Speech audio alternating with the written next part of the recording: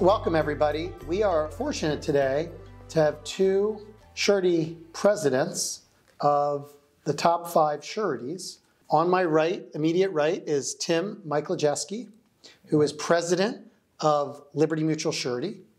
And I know he is always impressed when I say his name correctly. Absolutely, Matt. I, I saw the nod, so thank you. And then to my further right is Steve Haney, who is president of Chubb Surety. When we did our last chat, SUREChat as we call that, um, it was June 3rd of 2020. We were remote, as you would imagine. Today, we're fortunate. We are in person, and um, we're able to have a fireside chat with a fireplace that is not lit, but is by a fireplace.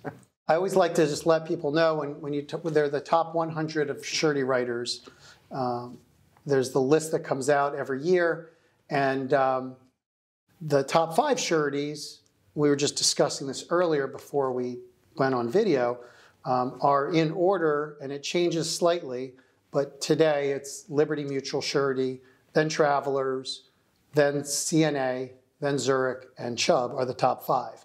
And they represent about 55% of the entire surety marketplace. I'd like to just put that in context so we know we're talking about. And one of the reasons I invited uh, both Steve and Tim um, to come is because they represent a large chunk of the surety industry globally. One thing I'd like to add, we did last time, we decided to make a donation. We thought there was a good opportunity in inviting um, our free speakers.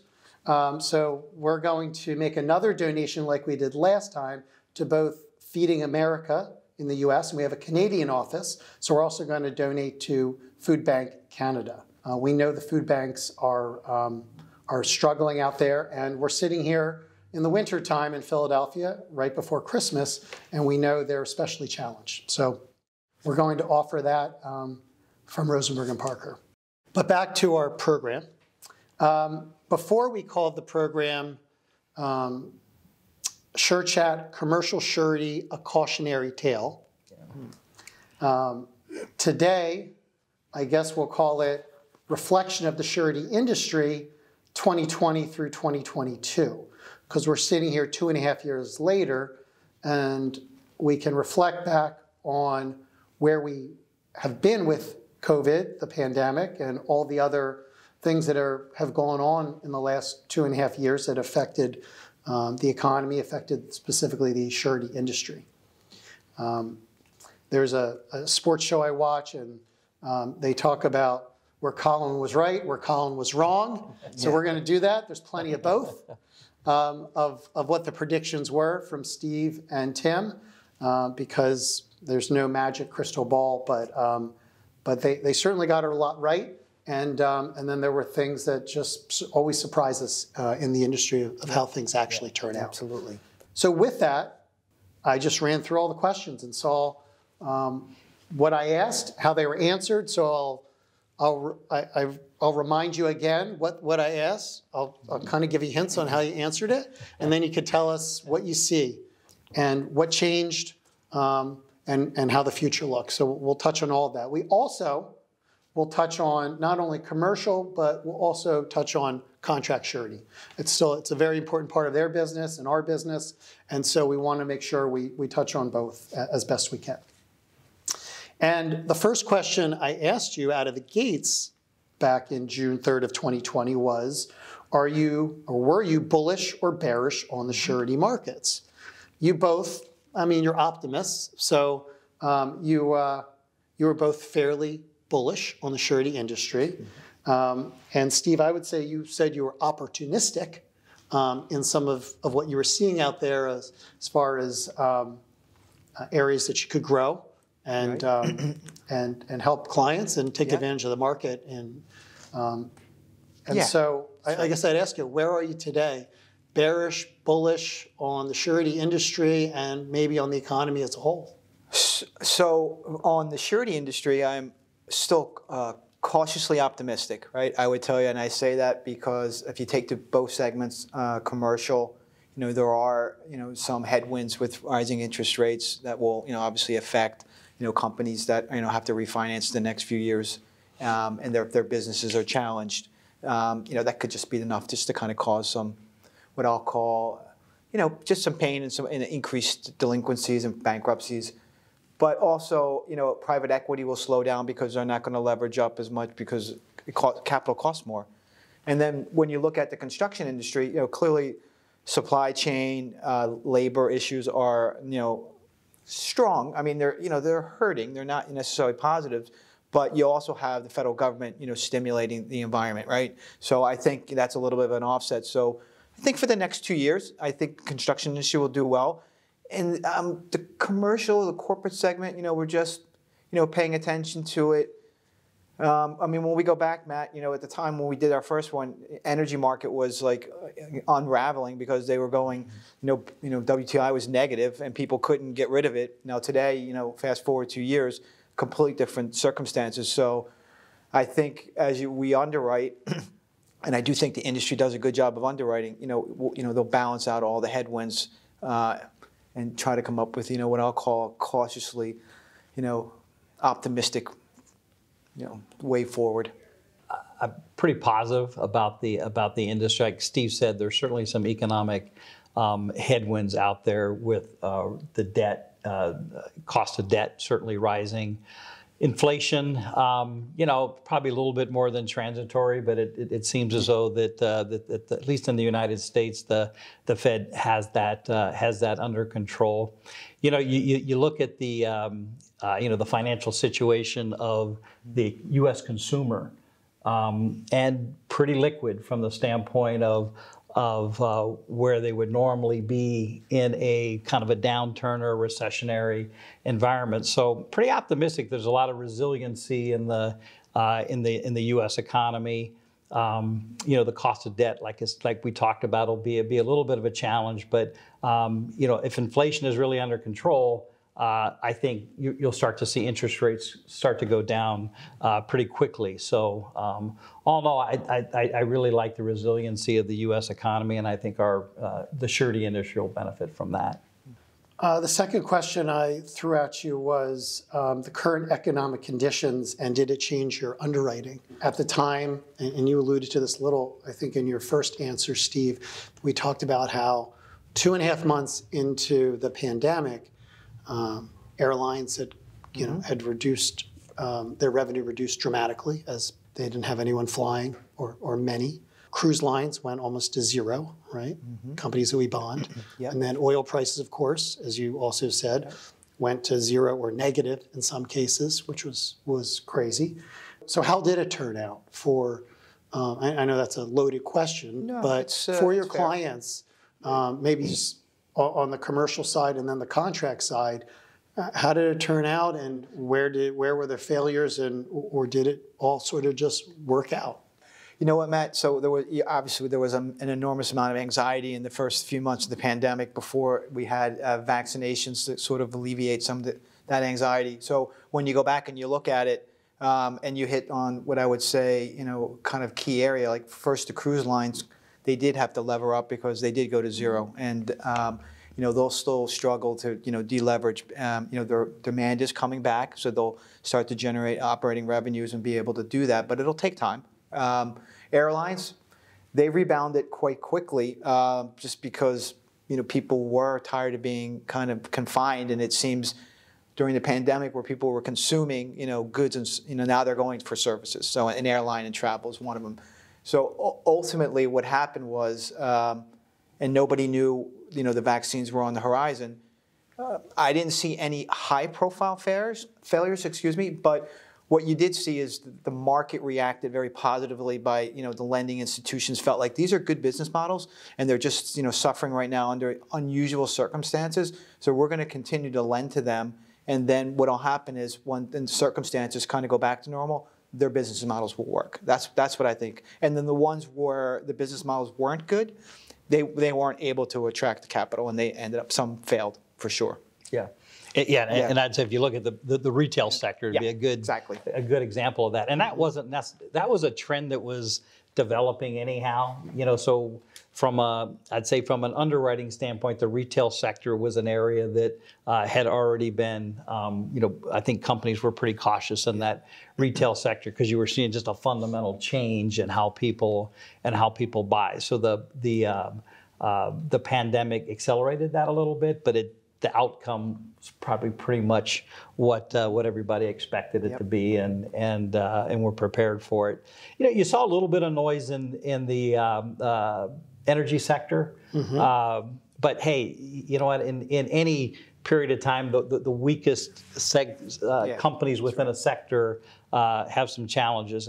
But it, it wasn't nearly what uh, at least we anticipated to see a much higher Yeah. uptick in losses. It was kind of a normal loss activity that you would that you would see anyhow. So uh, I wouldn't say there was anything that um, uh, was really driven by the by the pandemic. Maybe a few things, like I said, with retail that accelerated, you know, some of the the the, the problems, but uh, nothing unexpected.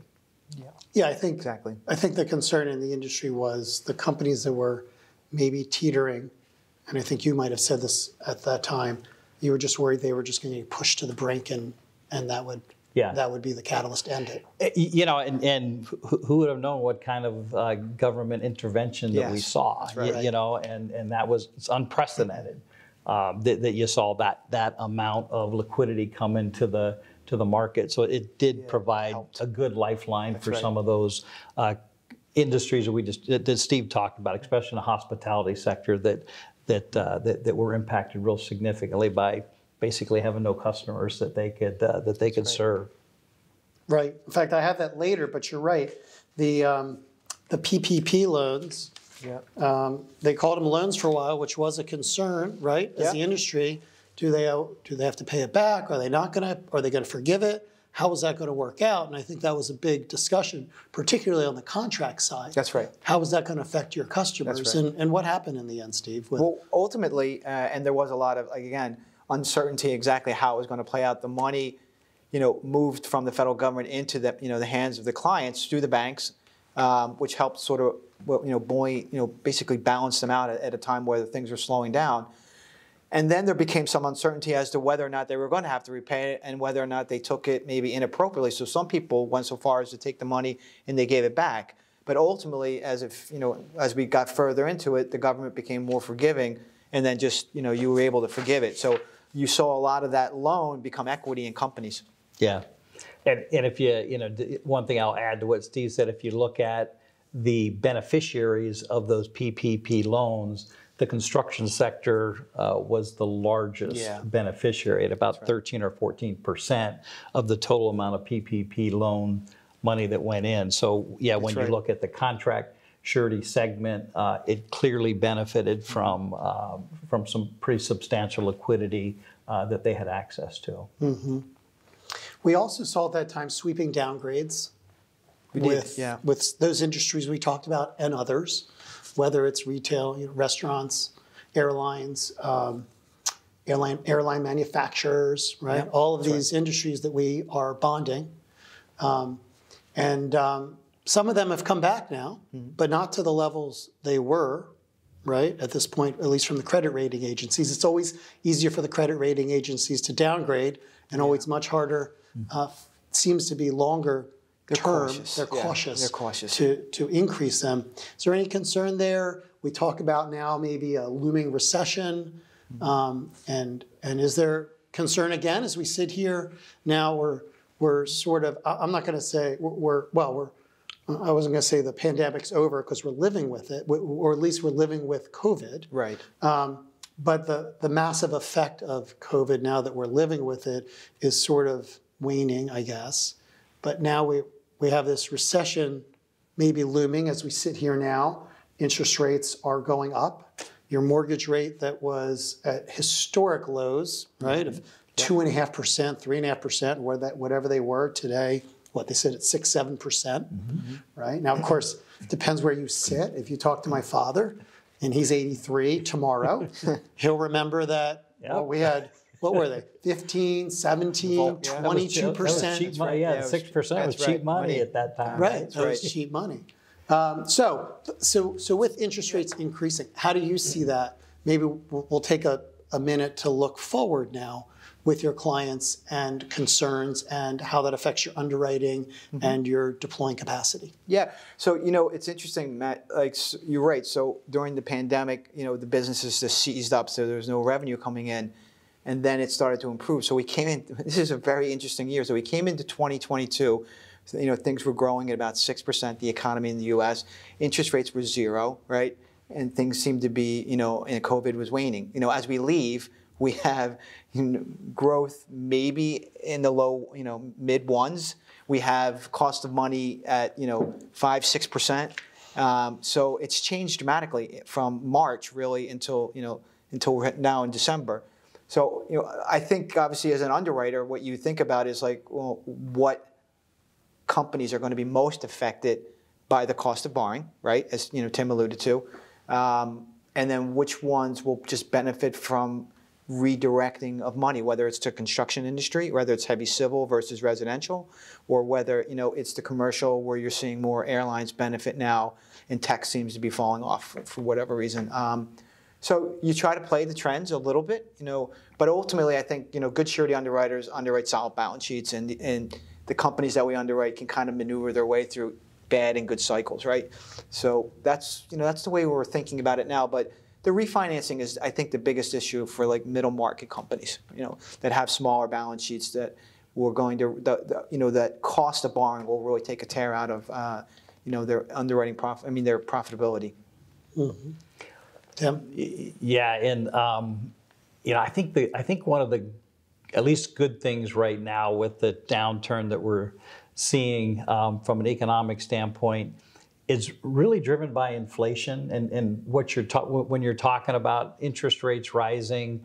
Um, it was really because we needed to get inflation under control, and, you, and you think about you know, if you're in any, if you're building a building and you're three years out on buying on, on buying materials for that building, you, you need to have some predictability of what that cost is going to be. If you're in the insurance industry like we are, and you're setting reserves based on policies that you're selling today, you need to have some understanding of what that might look like three, four, five years down the road. And with inflation, uh, it just has such a negative impact on so many, so many industries. So the good thing is that I don't think we're looking at uh, an, an economic situation. You have multiple variables that that are uh, trying to be uh, contained. It's really the inflation part of it. And I think if we address the inflation, uh, I think we'll fairly rapidly start to see the uh, at least the U.S. economy pick up pretty uh, pretty quickly. Because I do think there's still a, a, a lot of pent up demand um, within. Uh, the housing sector, uh, within the construction sector. I mean, sure. we're going to have to do a lot more from a manufacturing standpoint. And and I think one of the things that the pandemic kind of sent a, a warning shot out about is this global concept of globalization. And uh, I don't know that it's that everybody's enamored with the concept of globalization uh, as we might have been, say, five years ago or, or, or 10 years ago. And there's a, a lot more discussion about nearshoring, you know, building building facilities a lot closer to where you're, uh, you know, w- where you're located, so that um, uh, you know there's more predictability in the in the supply of uh, of, of whatever it is that, that you need. Well, it's like computer chips, right? Yep. Yep. And that's a that's a big one. Yeah. Yeah, and, and speaking of that, I mean, there's probably I don't know, it, at least it, just what I remember that, that there's got to be 50 to 60 billion dollars worth of chip manufacturing uh, construction that is going to take place over the next uh, couple of years, and then you look at uh, the uh, the battery. Yeah. Uh, uh, right. manufacturing facilities, and you see Right. the see the Right.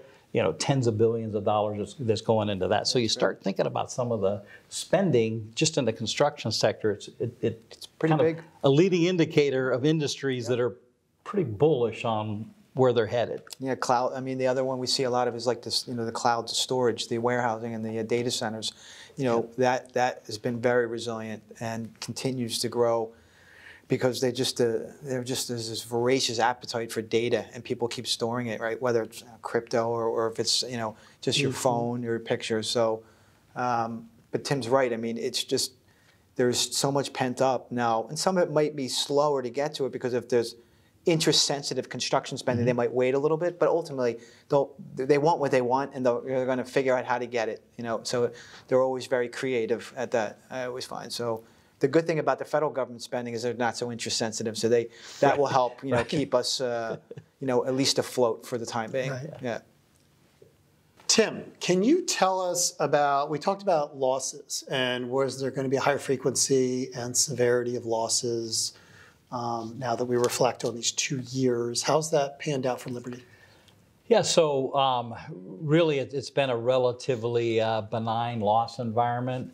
Um, you know, what we are seeing right now is a little bit of this on the smaller uh, uh, construction side. We're starting to see a little bit of um, uh, increased activity from a claim standpoint, and, and I kind of look at it as the the PPP money's kind of run out, and, and now um, you know there's some impacts of of uh, the uh, supply chain and, mater- and, and challenges with material, maybe a little bit of challenge around around labor. So that's kind of kind of culminating in a little bit more of an activity, uh, claims activity from a small contractor standpoint. Beyond that, um, you know, one thing I did I did predict is, is severity would become more of an issue, and, and I still think that it will. Um, because as you you know, we talked a little bit earlier about some of the sizes of these contracts that are construction contracts that are out there, whether it's the chip manufacturing or the battery manufacturing, um, some of the transportation infrastructure that, that you're seeing. Um, some pretty substantial dollars, and if something goes wrong, it's going to be it's, it's going to be big dollars. So, haven't seen it yet, Matt, but uh, but definitely think that that's a, a risk that's out there.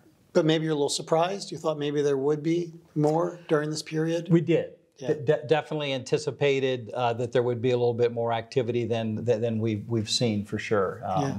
But um, again, I kind of go back to the the PPP uh, loan money. right. I think it just kind of you know if you think about kicking the can down the road a little bit, I, I think I think that's exactly what happened with the uh, right, uh, with the government intervention that, that we saw in the in the liquidity markets.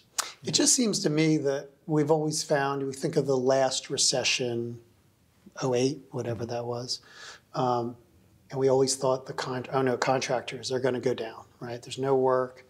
We're going to have contractors. How are they going to stay in business? And the resilience of companies, to me, for our, what we've seen with clients, is remarkable. Yeah. Um, and you always you don't want to bet you're not betting against them but you're and you're rooting for them but you you just you, you sit there and go how's this going to work Yeah. right you know, and I'll let Steve comment, but two things that, that come to mind there, Matt, when you, you, you look at the capital that's been generated over the last decade.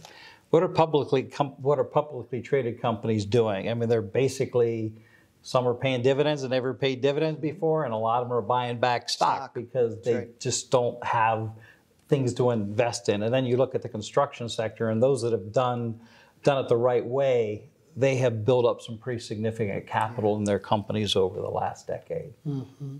and the work's there for them for the contractors It- it- again yeah. another bit of a surprise right Yeah. that it keeps on going Yep. major projects major infrastructure projects stadiums you name it um, school renovations it just it just keeps going Yeah. The more than needs it. maybe we thought it would Yeah, the country definitely needs uh, the infrastructure. I mean, you see a lot of money on highway, right? So the bill got passed, the 1.5 trillion dollars. So that's the first step, and then the appropriations. Like now, you have to find spots to put the money. Federal highway, it's pretty easy. That money is like readily. There's always projects going on, and then the whole green space, you know, with regard to batteries, which Tim alluded to, um, and then the, you know the I, you know, basically the IRA, the you know basically pulling back onshoring again. That's going to do with the, the chip manufacturing, so that creates opportunities. And then construction can kind of lead you out of like maybe a softer environment, and that's what they're hoping for. But Tim's right. Like we haven't seen, you know, systemic loss. It's been isolated. Um, it has been like kind of on the smaller side. The PPP money definitely, you know, that balanced everything out because it just gave people when they didn't have to pay it back, it gave them equity to kind of forestall and to cover up mistakes. It, it'll it'll run out, and then and then you're always worried about as as the government ramps up and money gets starting to flow heavily again that people maybe take on a little bit too much work and then their labor or some other circumstances cause them to fail and then it has a trickle on effect. We haven't seen it, but that's what you're always worried about. So, um, So we'll see how the next, you know, we'll call it 12 to 24 months plays out.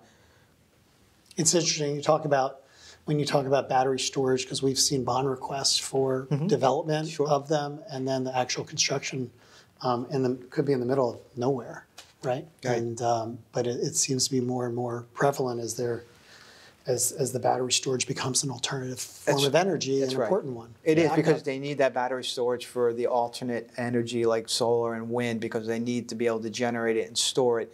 Without that, and then they have to connect it to the grid. So that's a big part of what you're going to see. And there's obviously money dedicated to that that you're Yeah. going to see spent over the next few years. Yeah. Right, right. Everyone's worried about the grid. Yep. So you need, well, look, you just got a, your own generator, right? You, you had to get a Uh, generator, you had to well, upgrade your generator. If we go back to when we did this the first time, I, my phone, my power went out of the house, and I had to use my phone. So I subsequently decided that that wasn't going to happen again. So yes, people are taking energy uh, seriously. Yeah, for sure.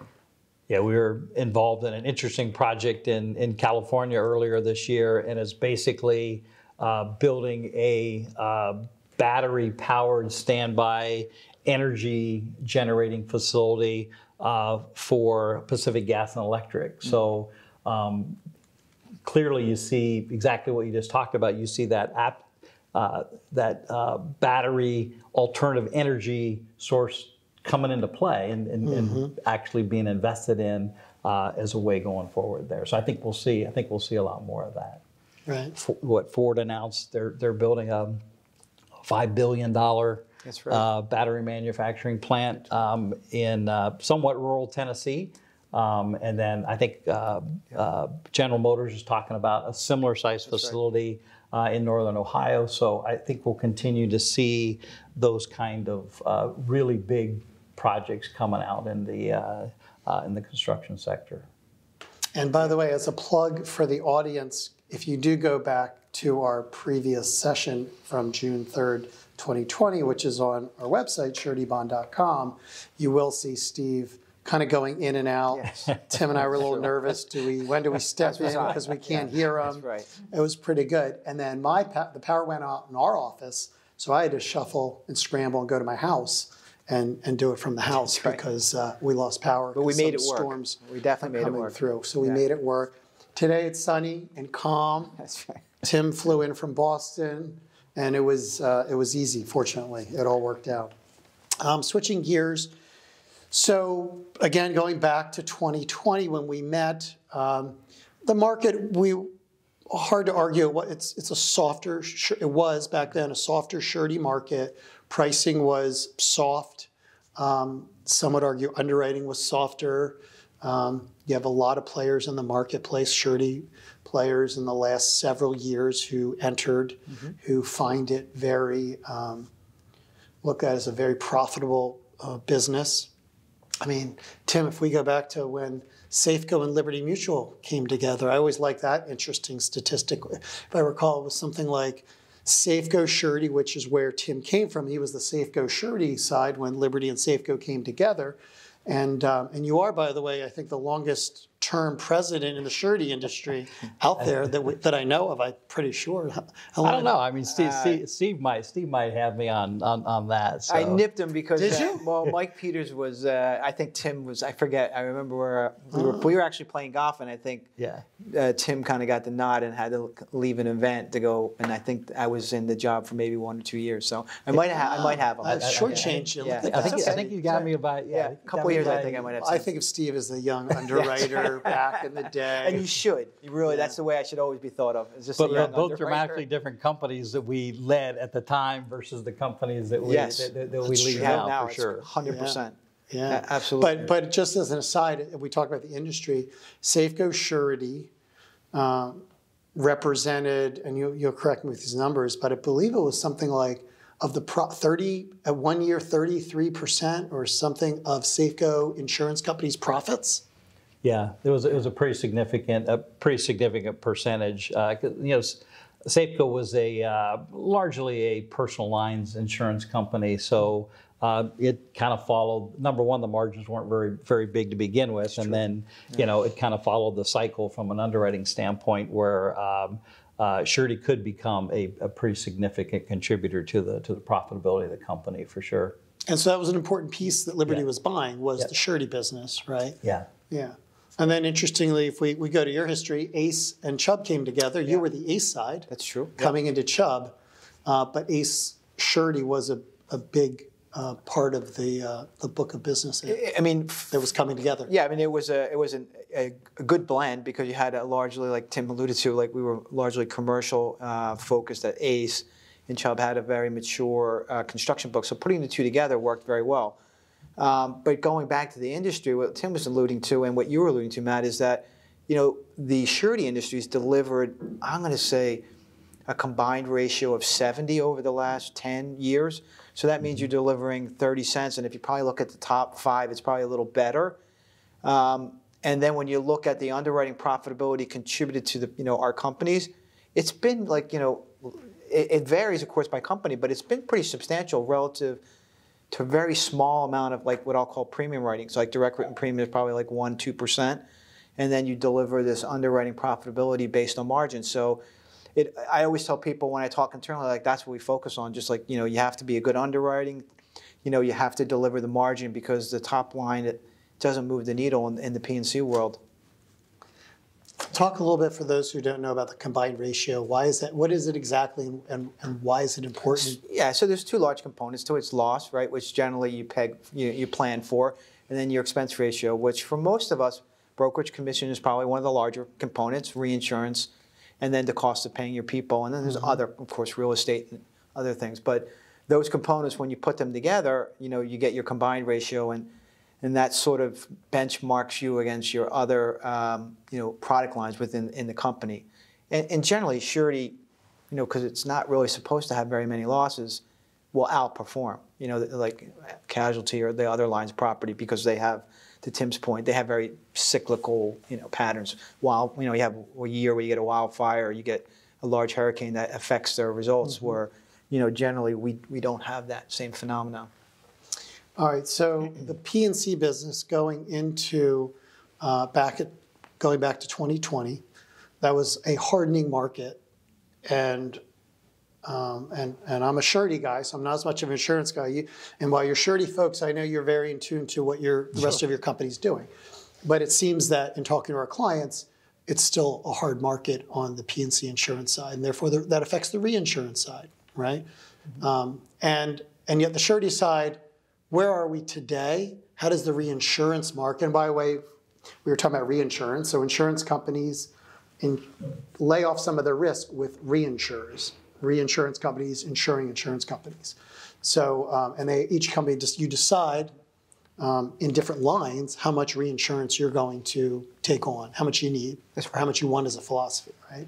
And and that, that also changes, right, year to year potentially. Um, so where where is the reinsurance market for surety right now, and how does the overall P&C market, if it does, affect the surety market and and and your pricing and how much you can deploy out there capacity? Yeah, and I'll, start there. I'd say you know the the surety reinsurance market is really strong because as we've talked, you know it's been a it's it's been a um, a, a pretty uh, quiet loss environment that that we've been in. Um, so there's a lot of capacity from a reinsurance side. Uh, some really consistent players. There's probably a dozen that I would say are really consistent players from a surety reinsurance standpoint, and then there's a whole bunch of others that that are kind of trying to get into the get into the industry and or into the uh, surety reinsurance sector. And you think about it for number one, you look at property from a global property standpoint. Uh, it, it's generated just uh, tremendous losses over uh, the last uh, three, four, five years, and a lot of that's just driven by things that we can't change quickly, like climate, the, the, the effects of, of climate change and the severity of, of, of weather and, and, and natural disaster events. So, uh, you know, there's not a lot of there's not a lot of opportunity for reinsurers want to be in that big property uh, reinsurance market. So they're looking for different ways to put uh, capacity into segments of the business that right. uh, where, where they have a chance of making money. And right now, uh, you know, property just doesn't look like there, there's much of an opportunity to make much money in the property sector, given the severity that's just been unprecedented in any of the, the, the property events that have happened globally. Yeah, we're seeing that's companies decide to, because it's so expensive, they're just using a strictly cat loss and taking big deductibles. and i- if they're giant companies, I mean, 10, 20, 40 million dollar deductibles because it's so expensive. Yeah. It can be Yeah. so expensive. Yeah. Not everyone has that luxury. And if you're in a construction company, you don't have the luxury to take on um, super large deductibles, but depending on the size, you might take on larger ones than you would otherwise to, Yeah. to combat that. That's right. Yeah. What, what else would you say I mean, about I- that? you know, Tim's right. I mean, look, there's there's like a core market that sort of participates and provides capacity, and then there's ones that are opportunistic that kind of come in and out depending on circumstances. You know, obviously they're all one companies, um, so they are affected by the property market and their capital is. So they try to move it around in order to get the best return. So, but right now the surety reinsurance market is, uh, given the the lack of loss activity, has been pretty stable. You know, um, you know, 20 was obviously a little bit of a anxiety year because nobody knew again how pan- the pandemic was going to play out. So there was some cost increases then, but by the time you got into 21 renewal, most people were pretty confident that that wasn't going to develop into something catastrophic. And this year it was, you know, costs, you know, are going up a little bit, but not as much as, you know, people would have anticipated, right? Yeah. And the anxiety, Steve, you, you and I yesterday talked about Fieldwood, and Yeah. Tim, we were talking about it. Um, that created some anxiety in the industry, right? Can, did. Can can either of you talk about what the concern was and what Fieldwood it was an interest? It's an interesting case, right? Of how it potentially changed the surety, um, how surety's looked at by the courts. Yeah, so you know, I'd say some of the interesting aspects of that. Number one, you know, it was a fairly significant size capacity Yeah. for the industry, um, and then you had a lot of um, what I would say some of the, you know, maybe not all the the top five were had capacity on a company like Fieldwood. So you had some of the smaller sureties that did have some capacity there, and that's a much bigger uh, potential impact to their uh, to, to their P and L uh, when they have a decent size amount of capacity, uh, but don't have the revenue to, to, to spread that over. So um, that was one of the dynamics that I, I think was um, was interesting about about Fieldwood for uh, for those of us that, that, that did have some exposure on Fieldwood. It's kind of a traditional commercial surety loss to a certain extent, um, although you know, when you reserve it and when you actually pay ends up being a, a pretty big gap because there's a lot, you just don't have a lot of control over when that ultimate demand is gonna is gonna take place. So uh, at least from a cash flow standpoint, you have uh, time to prepare for it. Um, it's not like where you see a construction company uh, start to go down and you may get a phone call and you right. got to help Gotta make payroll on a Friday and it might be a Wednesday. So you got to you, you got to uh, react a lot quicker. In the case of the Fieldwood, uh, even though there's a lot of exposure out there, there's been a, a, a decent amount of time to kind of spread that over a few right. years and get prepared for kind of when that ultimate cash event might uh, might take place. Right. Yeah, and I think you were alluding to Matt. Tim, Tim's spot on. I mean, it was it is a very normal type of obligation that people would bond. Um, but I think the rub that you were alluding to is a lot of people previously underwrote those as portfolios with the idea that if there was a failure, the company sort of that comes out of that bankruptcy would still have the responsibility to clean up the, uh, you know, the old wells. And what we quickly learned was that they were able to kind of, you know, bifurcate, take the good wells and leave you with the bad wells, which changed the underwriting philosophy and strategy. So then you couldn't just do a portfolio; you had to do very specific well by well by well based on the livelihood Yeah. of the well, right? So I think I think that was a big difference. And, and at the time, I mean, Fieldwood failed because we, we talked about this earlier that you know the price of oil just dropped dramatically and it made it untenable for them to generate revenue. And now you fast forward, and a lot of the delayed loss activity that the industry is benefiting is because the prices are high and those wells have economic value. Yeah. Yeah. Mm-hmm. I'm going to shift to construction a little bit because I, I do want to talk a little bit more about construction. I mean, what, would you say represents how much of your surety? So i- i- it's about a 60-40 split between, um, and, that, and, that, and I'm taking international out for the moment, right? So in North America, you know, it's about 60% construction, 40%, and that's based on uh, on premium, right? Right. Um, and you know, it's it's it's benefited the most, um, I would say, in this environment, just because there, you know, there was the pause in 20, and everyone was biting their nails, and then we, we were deemed essential, and then it started to pick up again. But remember, while the uh, pandemic was going on, governments were not getting revenue, so a lot of the state budgets were in jeopardy. And now what we're seeing is really with the new president, they kind of recapitalized the states almost, and now money was starting to, you know, just be spent. So some projects that were sort of either delayed or stalled a little bit, they're coming back online. So we saw a big this year. uh, You, you saw a big pickup in growth in the construction segment. So, which is which is great. I mean, um, like I said again, it it can lead us out of you know economic, you know, difficulties. So, but that's what that's kind of what we're seeing now. And really, I would say for 23 and 24, we're, we would expect our um, our construction book to grow faster than our commercial book. Yeah. Okay. Yeah, and I have similar comments. We're, we're about 60-40 construction, uh, commercial uh, as well from our uh, premium standpoint. If you look at the SFAA numbers through the third quarter, uh, premium for the industry was up about 13.5%, which Yes, at, it's- I least, at, I at least in our I haven't seen that very often, to be honest with you. yeah. And, and, and it's largely been driven, like Steve said, uh, by the construction sector and by the contract sector. Um, some of that's pent up demand for, for projects that, that maybe got on hold uh, when there was a little uncertainty around COVID, so that's part of it. Um, material prices have driven up jobs, some, sure. uh, s- some of the cost of, uh, of, of, of the projects as, as well, so you're benefiting from that.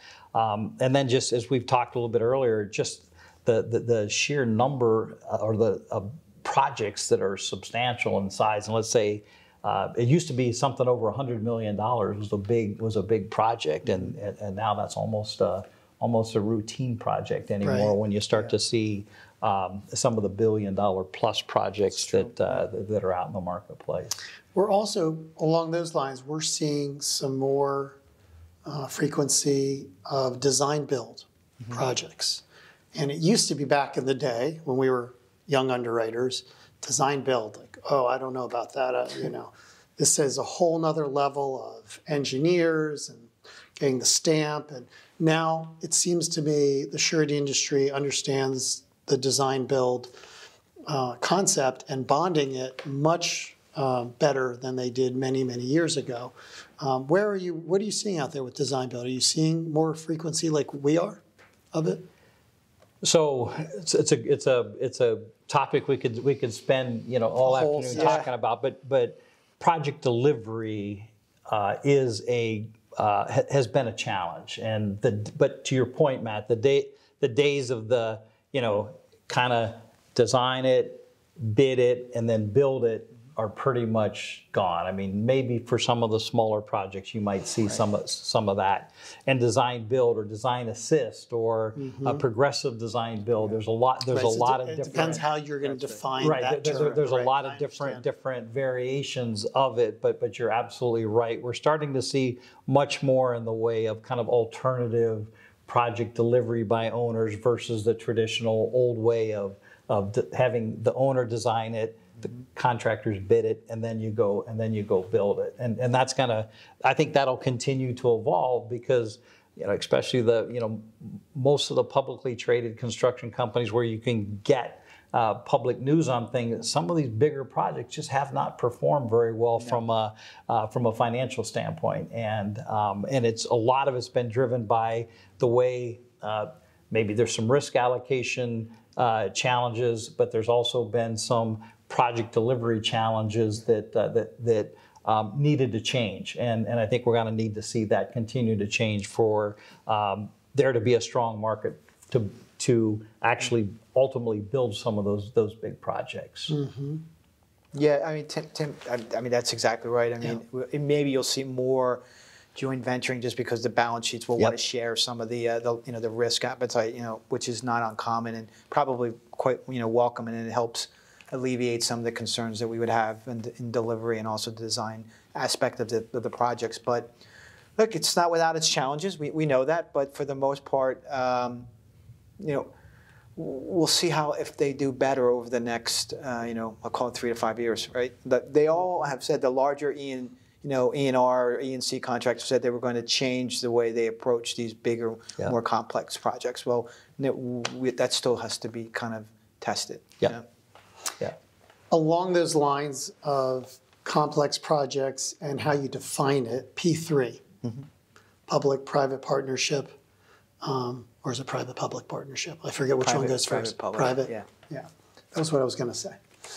But I left, I led with public. But anyway, private-public partnerships, P3 projects. What is your um, philosophy on that as far as underwriting it and, and, and bonding it?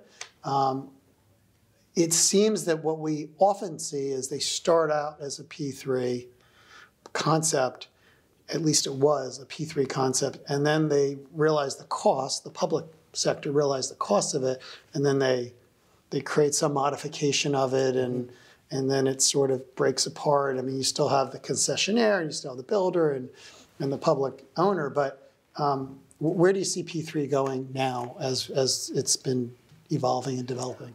Yeah, it's a good question, um, especially because I think, Matt, if I would have gone back five years ago, I would have thought that P3 would be much more prominent as a project delivery and project finance um, uh, mechanism. But, uh, you know, was going to be the wave of the future. Everything, Yes, yeah. sure. We're going to pay for all these projects. We're going to have all Yep. these roads and these and these hospitals, or whatever it is. Canada was doing it. Other right. inter, other Yep. countries are doing Yep. it more than we were. Surely we were going to do more of this. International companies come in to show us how to do it. I guess. Yeah. Contractors, and then so and it and it ju- and it just really I'm not going to say they haven't happened. There there are definitely some uh, out there, and there's some segments. For example, um, student housing seems to be one area where, where where there's so it's more social infrastructure than what we traditionally considered transportation infrastructure. The transportation infrastructure just has not taken off the way that I would say that um, uh, many thought that it would if you go back if you go back five years ago. So I'm still a little hesitant to see where where that market's gonna gonna go. I, I, I think five years from now, m- maybe you see a slight uptick in um, some of the public-private partnership stuff, but you know, with the you know the the, the uh, transportation funding that's coming out from the federal government and the states are all uh, increasing their budgets as well. There, there seems to be plenty of money, in that yeah. space to build the infrastructure, and there's not necessarily a need for third-party capital to come in to, uh, to to assist. and more expensive Yeah. Yeah. projects. Yeah. Right. Now that, that I mean, Tim's right. I mean, is to the extent that they have the money, I don't think they they don't, they don't want the partnership. They just Right. want what they want. They rather do it themselves. Um, and and we've seen the same thing, like student housing, where there's predictable revenue because you know kids are always going to Yep. college, and that we thought transportation would be one, but they there's been some some high level, you know, I'll call it, you know, problems with some of them that just haven't panned out. But it, it is, it is definitely not as uh, pronounced as we thought it was. Like, you know, you're right. Like even look five to seven years ago, everyone thought this was going to be the wave because it was, you know, it was an easier way of financing these projects.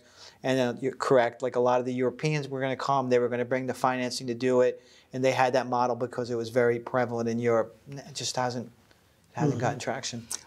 You know, you think about a lot of the bridges we have in the country are toll bridges, and hey, in the if you go back ten years ago, there was always going to be fifty thousand cars a Right. day and growing Right. go, going across that bridge, and then the pandemic hit, the right. work from home hit, and all of a sudden. It's not 50,000 cars going across that going That's across that bridge every day. So some of the predictability of uh, revenue flow uh, was really disrupted by uh, by the by COVID and then kind of the the after effects of COVID of where we are right now in uh, uh, working in an office versus working from home environment.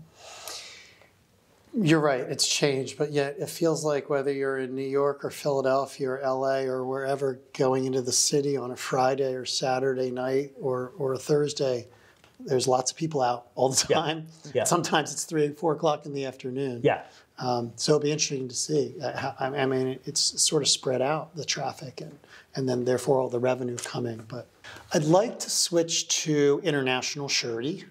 Maybe you could talk about what percentage of your business, because I consider Chubb Surety um, always has been tried and true international surety bond market with offices and people there. And I consider Liberty, in my opinion, you guys can you can talk separately about growing more and more of the last whatever you want to time frame five years, seven years, uh, more and more into the um, international surety marketplace, seeing that as a growth, uh, as potential growth for uh, business.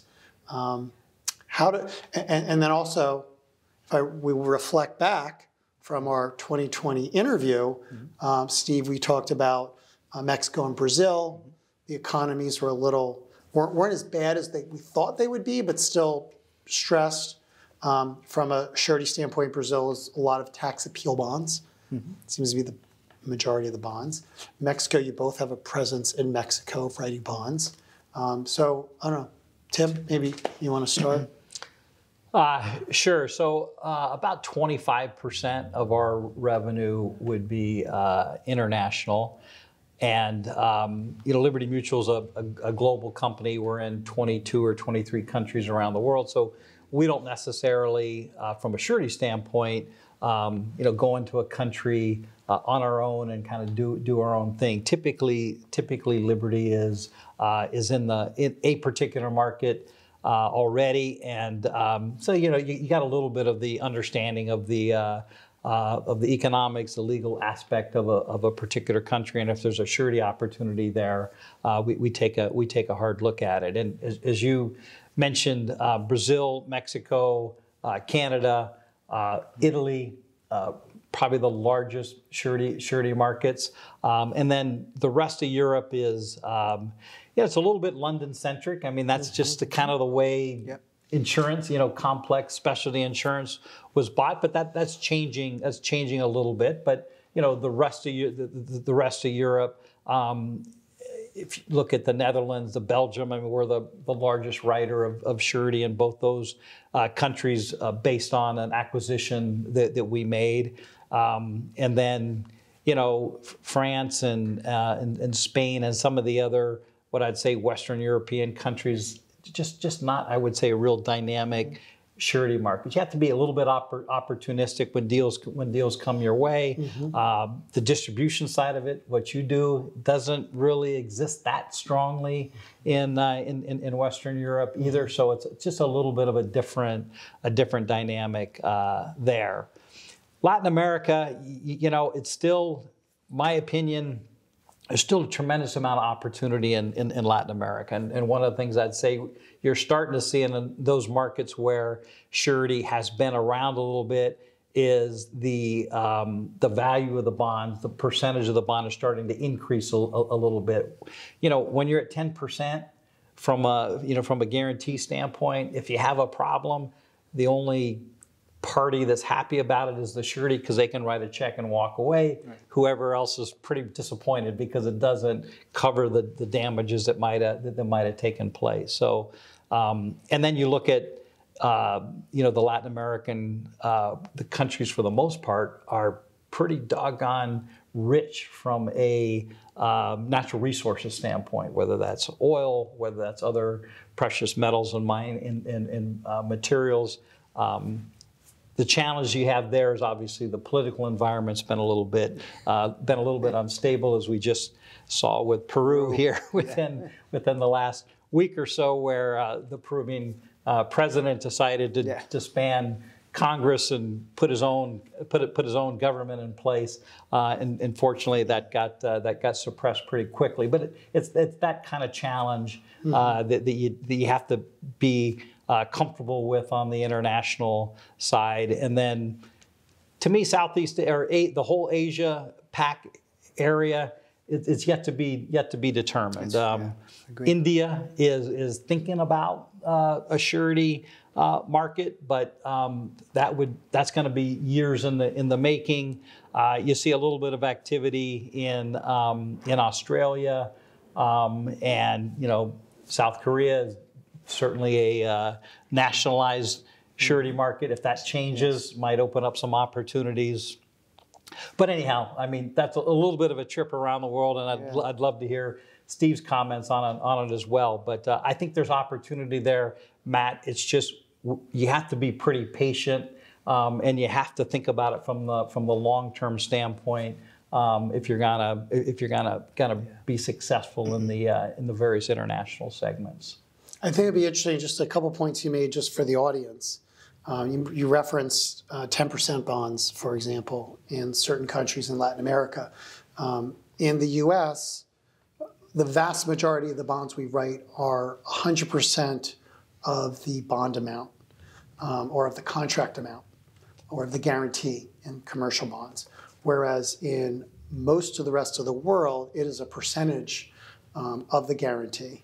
And um, so if you had a contract that was $100 million, uh, depending on the country, it might only be a 10% or 20% bond. And so your liability is, is very different, and that's just per jurisdiction yeah. yeah. as how they decide. That's right. Um, yeah, so I mean, from a percentage perspective, it's about the same as Tim. I mean, we're about like maybe 22% of the overall, you know, premium writings for, um, you know, for Chubb Surety come out, you know, from outside the United States. Um, and then, you know, look, we, we've gone at it, you know, from the perspective, and Matt, you said like, you know, Chubb's always been considered international. We, you know, we've always had a presence in the UK. Um, we, you know, what we're trying to do is create that network, right, so that we can facilitate clients because we, we, we view it as a global business and you know, clients in Germany might need bonds in Brazil. You know, Brazilian clients might need, you know, in the U.S. So we can we have that network to facilitate and then, of course, you know, some of the market, the domestic markets, to Tim's point, are bigger, uh, and they can still grow. Right, right now, I think, you know, I think last time I was concerned about Brazil and, and Mexico. You know, they were both in, you know, coming into rece- they were in recession really, and then the pandemic on top of that. Um, you know, you don't see a lot of infrastructure spending right now going on in either country, which is disappointing, right? You see, like you said, judicial bonds, which is about 85%. You know, we have change in government in Brazil but largely they're still constrained on what they can spend for infrastructure. So for the time being, we don't see any bright spots there. Mexico, a little different. You know, the, the current government there has the Train Maya, which is a big project. They also have, you know, a big refinery that they're doing in next year, Monterrey, um, which is one of the largest cities, is going to, you know, do a transit project. So that's big. But outside of that, that's about it. And then, you know, as you go around into Europe, you know, they, they have their own issues right now with just regards with the Ukraine crisis, mm-hmm. you know, the fact that there's, um, you know, inflation going on. Um, so it's making it difficult to, to spend money. But, you know, we, to Tim's point, we're there for the long term, you know, so we're just trying to find the opportunities that are, you know, developing in the current, you know, economic climate and, and support them for good clients. Um, and then when you look at, you know, Asia, Tim's comments are, were spot on. I mean, like, I don't really know much about the Indian market most of the Chinese business is outbound, right? You know, out, you know, either going into Latin America or going into Europe or mm-hmm. going into the U.S. And then Australia is a smaller market that you know where there's a few, you know, a few market participants, and it's been pretty stable. And you know, it has lost activity, but for the most part, it's you know, it's done it's done well. So, um, and personally, I was surprised when you told me you're writing um, a, some business in Saudi Arabia we would see some of our clients coming out of Europe that would go into Saudi, uh, and what we generally try to do, because that's not really, it's more of a banking market, we would use some of our bank partners to front for us, um, and that does uh, help with our distribution, right? right. Um, you know, and, and our largest premium outside the United States comes from Mexico. You know, we made the acquisition of Fianzas Monterrey in 2011, um, and Brazil is probably you know the next largest, and that was a big. I mean, at one time, both those markets were very big markets, like you know 600 million and 500 million. Um, unfortunately, they they've gotten a little a little softer over the years, but they have the potential because, like Tim said, they're rich in natural resources. There's a lot they can offer the world. We're just waiting for that demand to come back online, and, and I think that'll help construction and just change the, you know the mix of business. Yeah, and if you go, you know, you go back five years ago again, um, I think the projections for the Latin American surety yeah, market, whereas it was going to be equal to what the United States surety market That's is, right. it hasn't gotten there. And uh, but to Steve's point, I think it will eventually. I think it will eventually get there because um, population uh, the population of those countries kind of want the same thing that um, you know they see in the United States. You know, they want to they want to enjoy life a little bit, and and um, they've got some money to spend because there's um, you know, some some decent uh, economic activity going on due to the um, the natural resources those countries have.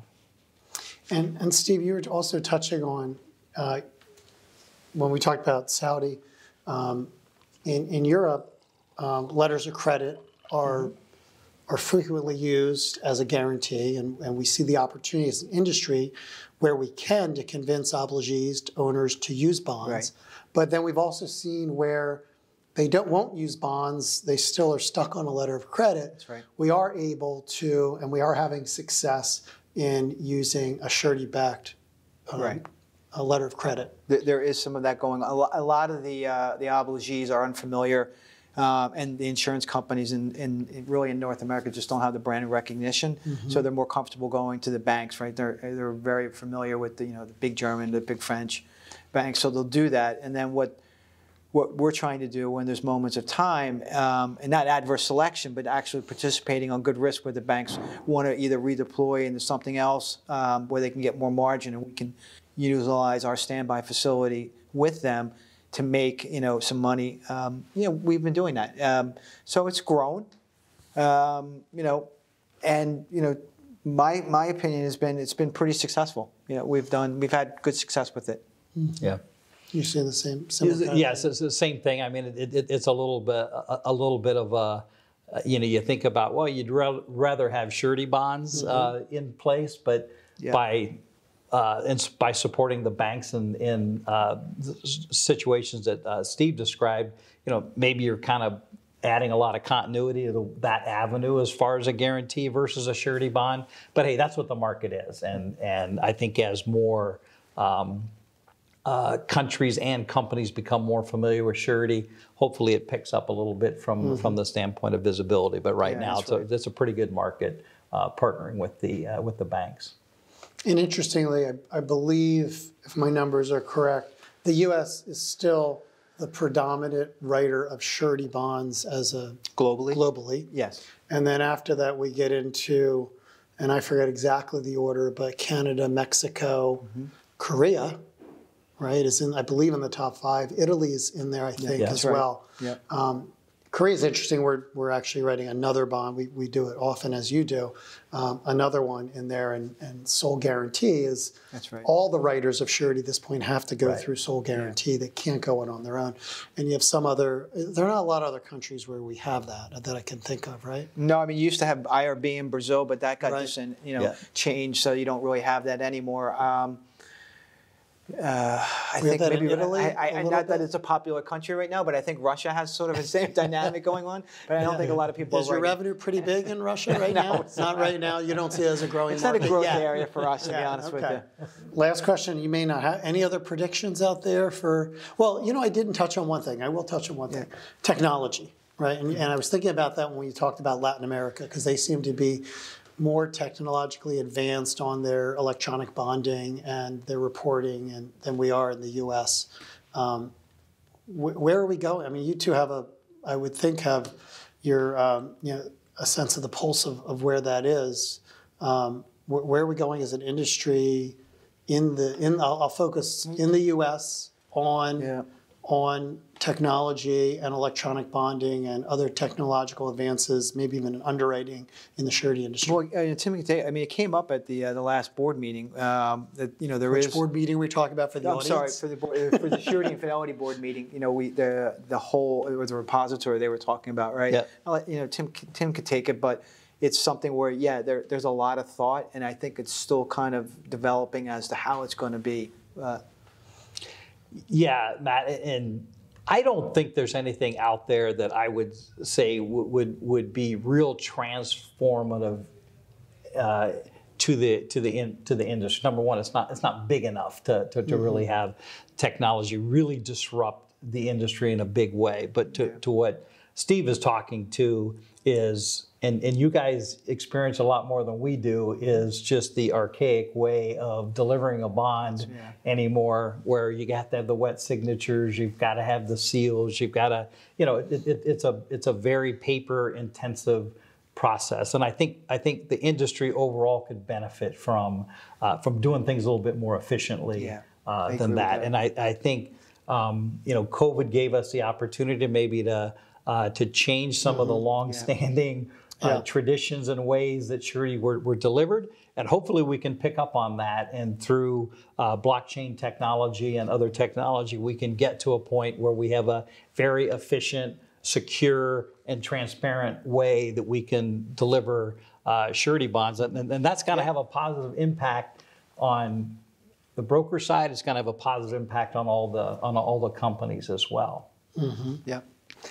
Well, we've wrapped up another, I don't know, I think I took more of your time. I appreciate it. Uh, you've said a lot. I think a lot to digest here. Appreciate your time, your expertise. You guys have been doing this a long time and you know your business well. And, um, and we appreciate you know you coming, making the effort to, to come here. You making the 30 minute drive, Steve. Appreciate I'm that. happy to do it for you, Matt. Yeah. Thank you for And, inviting uh, me. Tim It's making a longer see Tim. trip. Yeah. Um, appreciate it, and uh, hopefully we can do it again because I think it's interesting. It was really interesting watching the video, and then now you know it'll be interesting seeing this, and maybe in two and a half years we could do it again. Sounds great. Thank you Sounds very much. Thank you, Matt. Thank you.